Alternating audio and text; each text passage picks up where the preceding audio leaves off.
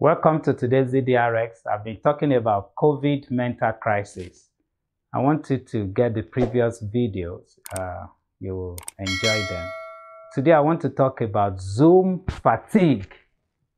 And our anchoring scripture is Matthew 11, 28. Come to me, all you who labor and are heavy laden, and I will give you rest.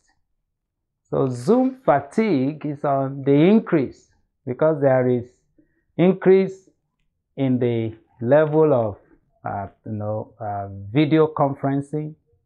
I'm using Zoom because Zoom is one of the commonest. It could be Skype, it could be GoToMeeting, and people are just developing some form of tiredness or the other. And the reasons are, are few because there is increase in level of stress due to looking at screen for too long. Many are having meetings or for meetings on a daily basis behind screen. And no one is immune to this fatigue I'm talking about. You know, people are also trying to look good behind the camera. And that is creating a lot of stress, causing fatigue uh, for a lot of people because people are just self-conscious. They are bothered about their look. It's as if they don't have the freedom. They want to look good on camera.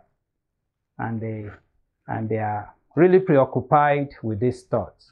So there are ways you can prevent this Zoom fatigue. One, take a break between meetings. Take a break. Learn to take a break. Explore other options of meeting explore other options. There's WhatsApp, we have even teleconference, and also you can also change your scenery. Try change your scenery. It can make you feel refreshed. You know, you can back nature, you can be in, in different parts of your house. Then you also have the option of turning off your camera anyway, uh, so that you just be on audio in your meetings.